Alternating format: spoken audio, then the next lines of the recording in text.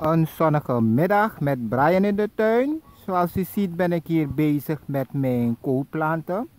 Ze beginnen alvast te kroppen. En vandaag ga ik mijn koolplanten wat voorzien van gras die ik net gemaaid heb. Dit is mijn gemaaide gras en die ga ik dan onder de koolplant zetten. Wat ik altijd doe, ik haal de onderste bladeren weg, die niet goed zijn, haal ik weg.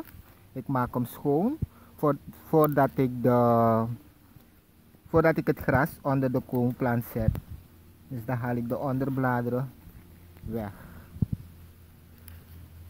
die beschadigd zijn.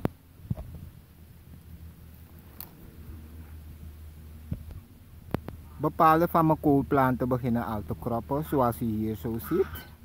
Dus en de gras komt goed ter, goed ter toepassing.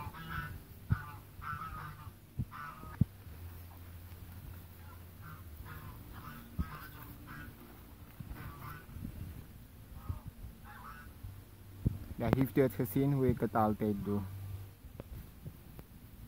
Heel goed voor de plant. Het is rijk aan stikstof.